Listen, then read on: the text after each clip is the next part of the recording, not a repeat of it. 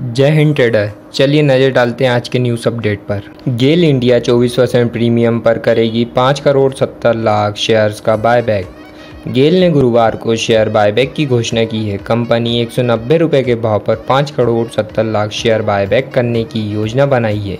इस पर 1000 करोड़ खर्च करेगी। कंपनी ये बायबैक 30 मार्च के बाद भाव पर 24 परसेंट प्रीमियम पर कर रही है, लेकिन बायबैक के लिए रिकॉर्ड डेट शुक्रवार 22 अप्रैल 2022 तय की गई है। इसका मतलब है कि यदि 22 अप्रैल को आपके खाते में गेल के शेयर होंगे, तभी बायबैक का फ़ायदा मिलेगा।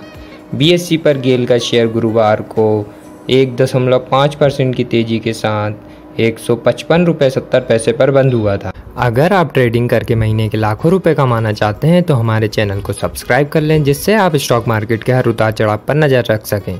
धन्यवाद।